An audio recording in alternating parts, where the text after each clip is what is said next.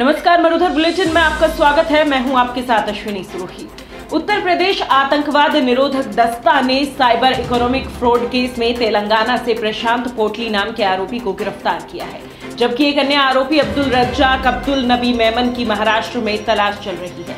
रज्जाक के घर पर एटीएस ने छापेमारी कर अहम दस्तावेज़ बरामद किए हैं। लेकिन वो फरार होने में कामयाब रहा। एक माह पहले गिरफ़्तार तीन चाइनीज़ आरोपियों ने पूछताछ में दोनों आरोपियों के नाम उजागर किए थे। रज्जाक व प्रशांत मिलकर गुरुग्राम में एक होटल का संचालन कर रहे थे और चाइनीज़ ठगों को शरण दे रखी थी। एटीएस अफसरों के मुताबिक प्रशांत पोटली को तेलंगाना के विकाराबाद जनपद के मरपल्ली थाना क्षेत्र के बुचनपल्ली से गिरफ़्तार किया गया है।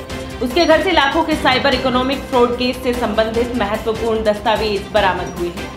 जिन्हें टीम ने अपने कब्जे में लिया है। उसे ट्रांजिट रिमांड पर लेकर लखनऊ लाया जा रहा है। इससे पहले महाराष्ट्र के थाने में अब्दुल रज्जाक, अब्दुल नबी मेमन के घर भी छापा मारा गया, लेकिन वो भागने में कामयाब रहा। अब्दुल के घर से भी टीम ने दस्तावेज़ बरामद किए हैं। दोनों के खिलाफ देश विरोधी गतिविधियों में शामिल होने के भी सबूत मिले हैं। दोनों आरोपी चाइनीज़ ठगों से जुड़े हुए थे। प्रशांत से एटीएस लखनऊ में पूछताछ करेगी। संभावना है कि अब इस गिरोह के बारे में और अहम जानकारियाँ सामने आएँगी बता दें कि इस फ्रॉड केस का 17 जनवरी को खुलासा हुआ था। इसके बाद नोएडा से चीनी नागरिक टेंगली उर्फ़ ली टेंगली और जू जुम्फी उर्फ़ जुलाही की गिरफ्तारी। हुई